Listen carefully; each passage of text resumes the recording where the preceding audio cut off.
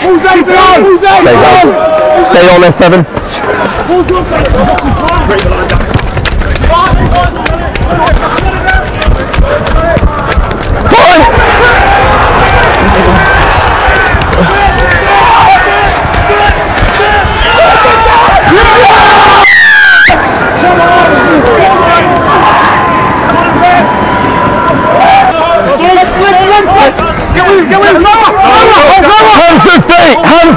And feet. Through the middle!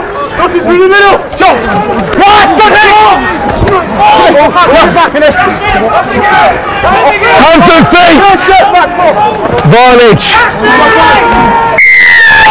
Try.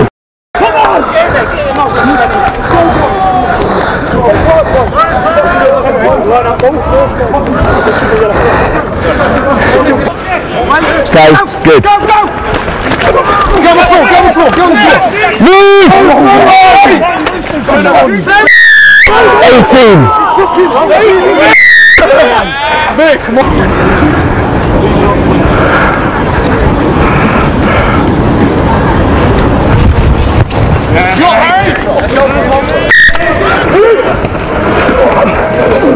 Access to player, move. Nine. Go through the Try.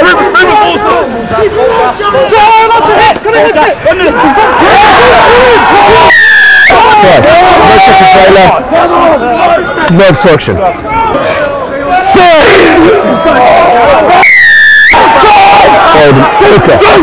Right, play.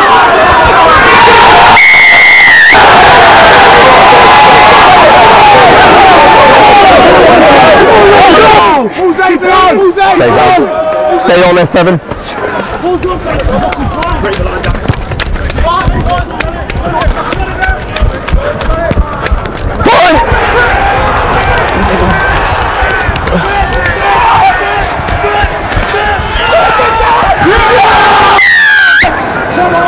Fine.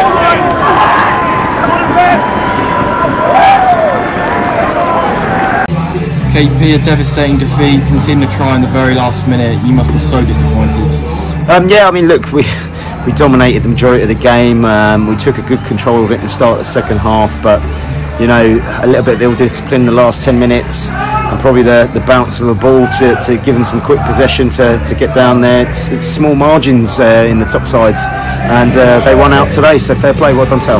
Yeah, you mentioned we dominated for large parts of the game. Do you think it was maybe just a concentration issue that swung it in, in Sale's favour? It was a forward dominated game, you could say that potentially. You know, that some of the backs were out there, didn't have much action going on, so uh, a couple of those things towards the end. But at the same time, we should have probably put it to bed. You know, we were, you know, we'd find enough punches there to, to take control of the game. We could have just filled the field and see it out. And like I said, it was probably just a, a strip of a tackle, a pat of the ball the right way, and taking it in the game could have been in, in, in our hands and uh, RW. Yeah, we turned up at about one o'clock and the pitch was a very muddy, state. Did that change your game plan at all and how you approach the game? Um, no, I mean we knew it was going to be in that state. We knew the weather was coming in, obviously with the storms on, on the Friday, and we knew it was going to be raining all day on, on the Saturday. So we were prepared for it, uh, and I think we managed the game the majority of it well. You know, but as I said, it's fine margins. It was probably a missed tackle here, uh, maybe. A, a penalty that shouldn't have been given away there, and uh, in the last 10 minutes, which probably gave them the ascendancy. Obviously, there's no good or bad way to lose, but does a defeat like that really take its toll on the players? Um, I think we can take that one a little bit better. I mean, last week we were disappointed with ourselves because we didn't really pull any punches in attack, whereas I think we managed the game well enough there today and we've done enough to have won it. Um, but again, you know, when you're playing these top teams in conditions like that, it's going to be fine margins, you know, irrespective of, of where Sale are in the league. It could have been something in the bottom of the league there. It's a matter of just managing that game and, and, and we were in control. We should have seen the game out, uh, but Sale took their chances and fair play to them, came out winners. What's your message to the boys in the changing room?